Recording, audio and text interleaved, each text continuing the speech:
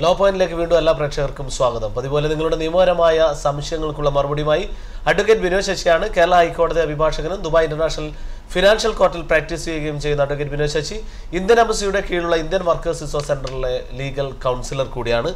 പ്രേക്ഷകർക്ക് വിളിച്ചു തുടങ്ങാം. സീറോ ഫൈവ് ടു നയൻ എന്ന നമ്പറിലേക്കും ഒപ്പം സിക്സ് എന്ന എസ് എം എസ് നമ്പറിലേക്ക് എസ് എം എസ് അയച്ച് നിങ്ങളുടെ സംശയങ്ങൾ ചോദിക്കാവുന്നതാണ്. അഡ്വക്കേറ്റ് അടുത്ത എസ് എസ് ചോദ്യത്തിലേക്ക് കടക്കുകയാണ്. My friend gave his credit card to me to use and I paid him cash in hand. Now there arose a dispute between me for another issue and uh, he threatened me that as per the cyber law I I am punishable to use his card. Please save me എന്ന് പറഞ്ഞിട്ട് അജയൻ എന്ന് പറയുന്ന ഒരു പ്രേക്ഷകന്റെ S M S ആണ്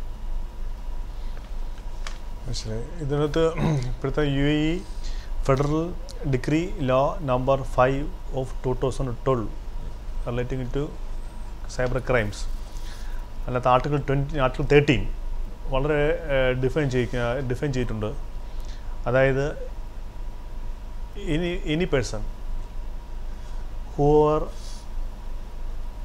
manufacture or design any means for information technology or any computer program for the purpose of forging counterfeiting and reproduction of credit card or debit card or any electronic payment methods. Also, any person who without authorization use the credit card, debit card or any electronic card for his purpose or for benefit of for, for others for to uh, take funds or property of others or get benefit from the service provided by third parties. And also the any uh, acceptance to deal with this forfeit uh, this forged and this uh, uh, uh, counter um, uh, counterfeited card or this reprodu- reproduced credit card, debit card or an electronic card with the knowledge that that is illegal ഇതാണ് ഈ article തേർട്ടീന്റെ definition ഇതിൽ ഏതെങ്കിലും ചെയ്താൽ വന്നു കഴിഞ്ഞാൽ punishment five hundred thousand dirhams to to million വരെ ഫൈനും ജയിലും.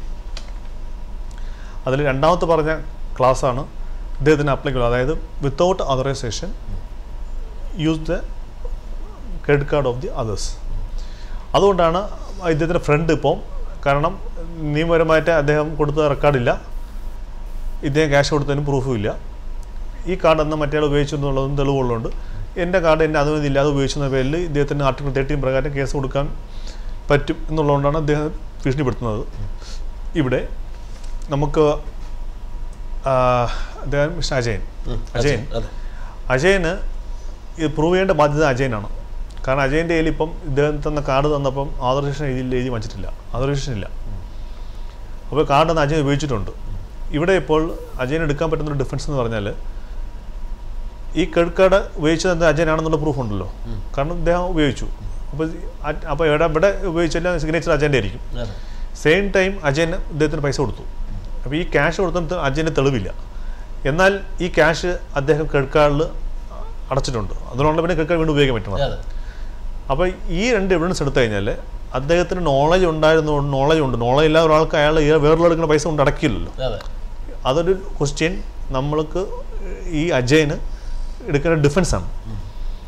Same time തന്നെ മറ്റേത്തിന് ഇതെല്ലാം പറഞ്ഞ് കേസ് കൊടുക്കാൻ അയാൾക്ക് റൈറ്റും ഉണ്ട്. കാരണം അതോറിഷൻ ഇല്ല.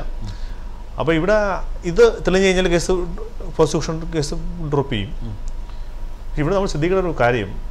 എപ്പോഴും നമ്മൾ ഇതിൽ ക്രെഡിറ്റ് കാർഡും ഡെബിറ്റ് കാർഡും ഉപയോഗിക്കുമ്പോൾ ആ നമ്മളിപ്പം റിലേഷൻ ബ്ലഡ് റിലേഷൻ അവിടെ ഇല്ലെങ്കിൽ കൃത്യമായിട്ട് ഓതറൈസേഷൻ തീരുമാനിക്കണം ഓക്കെ ഓതറൈസേഷൻ ഇല്ലാതെ ചെയ്തിട്ടുള്ള കുഴപ്പമെന്ന് പറഞ്ഞു കഴിഞ്ഞാൽ ചിലപ്പോൾ ഈ ഫണ്ട് ഈ ക്രെഡിറ്റ് കാർഡ് ചിലപ്പോൾ അവർ പൈസ ഇപ്പോൾ ഈ കേസിൽ അടച്ചിട്ടില്ലെങ്കിൽ പോലും പിന്നെ നമുക്ക് നമ്മൾ തെളി നമ്മൾ തെളിയിക്കണം നമുക്ക് തെളിയിക്കാൻ പറ്റത്തില്ല നമുക്ക്.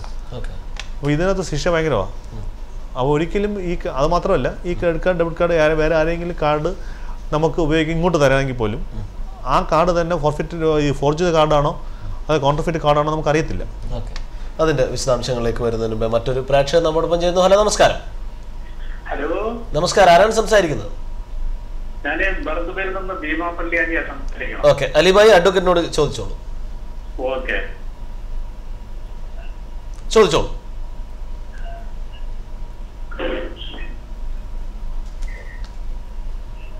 ഓക്കെ. അലിബായി കേൾക്കാം. ചോദിച്ചോളൂ. Good evening good evening. Sir എന്റെ ഒരു സംശയം എന്ന് പറഞ്ഞാൽ എന്നെ പോലെ ഈ സംശയത്തിന്റെ നേരിൽ കുറെ ആൾക്കാരുണ്ട്. എന്ന് പറഞ്ഞാൽ ഈ പാസ്പോർട്ട് സംബന്ധമായിട്ടാണ് ഞാൻ ചോദിക്കുന്നത്. ഓക്കെ. കാരണം എന്ന് പറഞ്ഞാൽ ഞാൻ ആയിരത്തി തൊള്ളായിരത്തി തൊണ്ണൂറ്റി മൂന്ന് ജനുവരിയിൽ ഇവിടെ വന്നതാണ് വന്നതിന് ശേഷം ഞാൻ തൊണ്ണൂറ്റി അഞ്ചിൽ നമ്മുടെ ദുബായ് ഇന്റർനാഷണൽ എയർപോർട്ടിലെ സ്റ്റാഫ് കൂടെയാണ് അവിടെ ജോലിയിൽ പ്രവേശിച്ചു ഓക്കെ. അതിനുശേഷം ഞാൻ എന്റെ പാസ്പോർട്ട് പിന്നെ ഇങ്ങനെ എക്സ്പയർ ആയപ്പോൾ അന്നുള്ള പാസ്പോർട്ട് പുതുക്കി തന്നത് രണ്ടായിരത്തി പതിനേഴ് രണ്ടായിരത്തി പതിനേഴ് ഇനിയും ശേഷിച്ച മൂന്ന് കൊല്ലം കൂടി എനിക്ക് ബാക്കിയുള്ളൂ.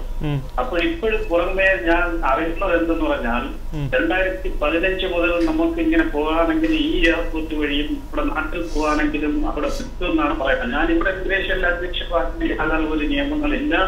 എന്നുള്ള ഇതാണ് ഇവിടുന്ന് അറിയുന്നത്. എന്താണ്? നാട്ടിലും ഞാൻ രണ്ടു മാസത്തിന് മുമ്പ് പോയപ്പോൾ ഇത് അന്വേഷിച്ചപ്പോൾ പാസ്പോർട്ട് ഓഫീസുമായിട്ട് ഞാൻ ബന്ധപ്പെട്ടു. ബന്ധപ്പെട്ട് ഇങ്ങനെ ചോദിച്ചപ്പോൾ പറഞ്ഞതെന്ന് പറഞ്ഞാൽ ഈ എഴുത്താണ് ഇതിന്റെ മെയിൻ ആയിട്ടുള്ള ഇത് ഞാൻ എഴുത്ത് പറയുന്നത്. കമ്പ്യൂട്ടർ പാസ്പോർട്ട് പിന്നെ പണ്ടുള്ള പാസ്പോർട്ട് എന്ന് പറയുന്നത് ഒരു പത്ത് കൊല്ലത്തിന് മുമ്പുള്ള പാസ്പോർട്ട് അപ്പൊ കമ്പ്യൂട്ടർ എന്ന് പറയുമ്പോൾ അച്ചടിയാണല്ലോ. അതെ. പ്രിന്റിംഗ് അതെ. അപ്പൊ ഈ പ്രിന്റിങ്ങും കൈയെഴുത്തും തമ്മിലുള്ള വ്യത്യാസമാണ് ഇത് ഒരു വിഷയം. ആ അതായത് ഇടയ്ക്ക് ഗവൺമെന്റ് ഒരു സർക്കുലർ ഇറക്കിയിട്ടുണ്ടായിരുന്നു. എല്ലാ പത്രത്തിലും ലീഡിംഗ് പേപ്പറിലും ഉണ്ടായിരുന്നു. അതായത് ഇസഡ് കാറ്റഗറിയിലുള്ള പാസ്പോർട്ടുകളും ഇതുപോലെ പഴയ കൈയെഴുത്തുള്ള പാസ്പോർട്ടുകളും എത്രയും പെട്ടെന്ന് ഇന്ത്യൻ എംബസിയിൽ കൊടുത്തിട്ട് തിരി നിങ്ങൾ നിങ്ങൾ മാറ്റി വാങ്ങിക്കണം എന്ന് പറഞ്ഞിട്ട് ഒരു സർക്കുലർ ഉണ്ടായിരുന്നു. അത് അതിനൊരു ലാസ്റ്റ് ലാസ്റ്റ് ഡേറ്റ് ഒന്നും അന്ന് ഇല്ല. ഇപ്പോഴും പോയാലും അത് ആ സർവീസ് അവൈലബിൾ ആണ്. കാരണം പാസ്പോർട്ട് അവർക്ക് അവൈലബിൾ ആണെങ്കിൽ അവരത് തരും. കാരണം ഈ പല കൺട്രീസിലും ഇപ്പോഴും സൗദി അറേബ്യ ചില കൺട്രീസിലൊക്കെ ഇപ്പോൾ ബാൻ ചെയ്തേക്കായി കൈയെഴുത്ത് അവിടെയൊക്കെ ഇപ്പോൾ ഇലക്ട്രോണിക് ഇല്ലെങ്കിൽ എടുക്കത്തില്ല. അതുകൊണ്ട്. എത്രയും പെട്ടെന്ന് നിങ്ങൾ എംബസിയിൽ പോയി ഇത് കൊടുത്ത് എത്രയും പെട്ടെന്ന് ഇല്ലേ അത് മാറ്റി വാങ്ങിക്കണം വാങ്ങിക്കണം കേട്ടോ? ഞാൻ ഒരു കൂടെ ചോദിക്കട്ടെ നമുക്ക് ഈ വിതരിപ്പുള്ള പാസ്പോർട്ട് ആണല്ലോ. എക്സ്പയർ ആകുന്നില്ല അപ്പോഴും രണ്ടായിരത്തി പതിനേഴ് അപ്പോഴും ഞാനും ഇത് കൊടുക്കുമ്പോഴും കൂടെ കൈ ഈടാക്കുമോ സർ? അല്ല ഇപ്പോൾ പാസ്പോർട്ട് പുതുക്കി വാങ്ങിക്കുന്നല്ലോ കാര്യങ്ങളും ഫീസും കാര്യങ്ങളും അവിടെ എംബസിയിലുള്ള അവിടെ ഫീസും അടയ്ക്കണമല്ലോ നമ്മൾ എപ്പോഴായാലും പക്ഷേ നിങ്ങൾക്ക് പാസ്പോർട്ട് എത്ര വർഷം എന്നുള്ളതല്ല പ്രശ്നം. നിങ്ങൾ ഈ പാസ്പോർട്ട് കൂടി ഉപയോഗിക്കാൻ പറ്റത്തില്ല. കാരണം ഇത് കൊണ്ട് നമുക്ക് രാജ്യത്ത് പോകാൻ പറ്റത്തില്ല. വിസ. കിട്ടത്തില്ല. അതാണ്. അതാണ് നമ്മുടെ ഈ എല്ലാ പോയിന്റിലൂടെ അതെ, അതെ, പാടായിരിക്കും എന്ന് ഞാൻ വിശ്വസിക്കുന്നു. മാത്രമല്ല സാർ പിന്നെ ഒരു കാര്യം എന്ന് പറഞ്ഞാൽ ഈ പഴയ ആൾക്കാരെ കാര്യമാണ് വിഷയം വിഷയമായിരിക്കണം പുതിയത് പത്ത് കൊല്ലത്തിന് ശേഷം കംപ്ലീറ്റ് പ്രിന്റിംഗ് ആണല്ലോ. കമ്പ്യൂട്ടർ പാസ്പോർട്ട് ആണല്ലോ. അതൊരു വിഷയമുള്ള കേസല്ല. പിന്നെ ഇതെന്ന് പറയുമ്പോൾ ഞാൻ ഡയറക്റ്റ് നമ്മൾ ട്രിവാൻഡ്രം പാസ്പോർട്ട് ഓഫീസുമായിട്ട് ബന്ധപ്പെട്ടു. അപ്പോഴവിടെ ഉള്ള ഒരു ഓഫീസർ പറഞ്ഞിട്ടുള്ളത് പറഞ്ഞാൽ നിരവധി പാസ്പോർട്ട് നിങ്ങൾ ഈ വിസയിൽ പോയി വന്ന് നിൽക്കുന്നവർക്ക് എന്നാൽ ഈ എഴുത്ത് പരീക്ഷ എഴുത്ത് സോറി ഈ എഴുത്ത് കുറിച്ചുള്ള ഇതെന്ന് പറയുന്നത് പുതിയ വിഷയ്ക്ക് അപ്ലൈ ചെയ്യുമ്പോൾ ആ വിഷയത്തിലോട്ട് പുറത്ത് പോകാൻ പറ്റില്ല എന്ന് പറഞ്ഞിട്ടുണ്ട്. അല്ല ഞങ്ങൾക്ക് നമുക്കിപ്പം ഇവിടെ ദുബായിൽ ജീവിക്കുമ്പോൾ ദുബായിൽ നമ്മളിവിടെ കഴിയുന്ന ആൾക്കാർ അല്ലെങ്കിൽ യു എയിൽ കഴിയുന്ന ആൾക്കാർ ഇവിടുത്തെ എംബസിയും ഇവിടുത്തെ കോൺസുലേറ്റും പറഞ്ഞതാണ് കേൾക്കേണ്ടത്. അവിടുത്തെ ഗവൺമെന്റ് അവിടുത്തെ പോസ്റ്റ് ഓഫീസറോ പറയുന്ന ആരെങ്കിലും നമ്മളോട് നമുക്ക് അവിടെ പോകുമ്പോഴല്ല അവിടെ നിൽക്കുമ്പോഴുള്ള മാറ്ററാണ് അവിടെ നിന്ന് വരുമ്പോഴുള്ള ഇഷ്യൂ ആണ്. ഇവിടെ നിൽക്കുമ്പോൾ നമ്മൾ ഇവിടുത്തെ ഇവിടുത്തെ ഫെസിലിറ്റീസും ഇവിടുത്തെ നമ്മൾ ഉപയോഗിക്കുക. നമ്മൾ പാസ്പോർട്ട് മേടി പകരം മാറ്റി മേടിക്കുക. അത് നമ്മൾ സേഫായി മനസ്സിലായില്ലേ? Right right okay okay right okay എനിക്കൊരു ഡൗട്ട് ആയിരുന്നു എന്ന് പറഞ്ഞാൽ നമ്മുടെ ഈ പാസ്പോർട്ട് ഓഫീസുമായിട്ട് ബന്ധപ്പെട്ടപ്പോൾ ഇങ്ങനെ ഒരു കാർ പറഞ്ഞപ്പോഴാണ് എനിക്കതൊരു ഡൗട്ട് അപ്പൊ ഇത് എല്ലാരും ഇങ്ങനെ ചെയ്യണം ചെയ്തിരിക്കണം എല്ലാവർക്കും ഒരു. പാഠമാണെന്ന് വളരെ തീർച്ചയായും. വളരെ വാലിഡ് ആയിട്ടുള്ള ഒരു കാര്യം തന്നെയാണ് ചോദിച്ചത്. വളരെ നന്ദി അലീബായി വിളിച്ച് സംശയങ്ങൾ ചോദിച്ചത്. മറ്റുള്ളവർക്കും അത് ഉപകാരപ്രദമായെന്ന് കരുതുന്നു. വളരെ നന്ദി. താങ്ക് യു അടുത്തത് നമ്മൾ പറഞ്ഞുകൊണ്ടിരുന്നത് ക്രെഡിറ്റ് കാർഡിന്റെ ക്രെഡിറ്റ് കാർഡിന്റെ ഇനി ഒരു ക്രെഡിറ്റ് കാർഡ് ഇവിടെ ക്രെഡിറ്റ് കാർഡ് പല പല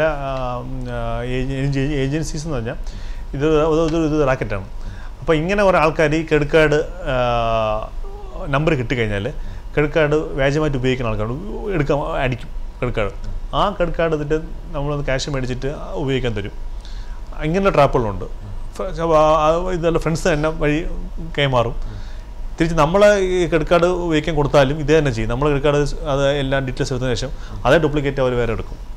അപ്പോൾ ഈ നമ്മൾ ഈ അങ്ങനെ സമയങ്ങളിൽ എത്രയും പെട്ടെന്ന് എത്രയും നമുക്ക് കാര്യം ക്രെഡിറ്റ് കാർഡ് കയ്യിലുണ്ടെങ്കിലും ഒരിക്കലും ക്രെഡിറ്റ് കാർഡ് നമ്മൾ ഓൾറെ കൊടുക്കണമെങ്കിൽ തന്നെ ഒരു ഓതറൈസേഷൻ ലെറ്റർ എഴുതി മേടിക്കുക എന്നുള്ളത് മസ്റ്റാണ് ഓക്കെ അത് നമ്മൾ മേടിക്കണമെങ്കിൽ എഴുതി മേടിക്കണം. ഓക്കെ മറ്റൊരു പ്രേക്ഷകനിലേക്ക് കൂടി പോയി തിരിച്ചു വരാം. ഹലോ നമസ്കാരം. നമസ്കാരം. ആരാണ് സംസാരിക്കുന്നത്?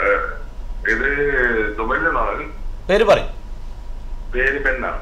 ഓക്കെ അഡ്വക്കറ്റിനോട് ചോദിച്ചോളൂ ഓക്കെ നമസ്കാരം സാർ നമസ്കാരം.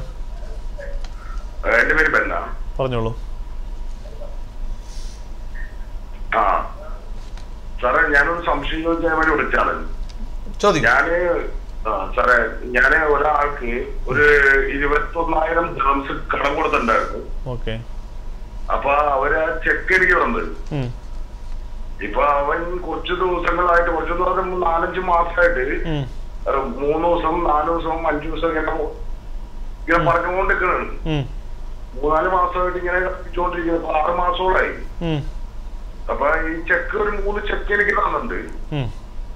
ഈ ചെക്കിന്റെ ഒരു ഭാഗത്താണ് സൈൻ ചെയ്തിരിക്കുന്നത് ചെക്കിന് ഡേറ്റ് ഉണ്ടോ? തീയതി ഉണ്ടോ തീയതി എഴുതിയിട്ടില്ല. ഈ ചെക്കിന്റെ ഒരു ഭാഗത്താണ് സൈൻ ചെയ്തിട്ടുള്ളത്. ഫ്രണ്ട് സൈഡിൽ മാത്രം.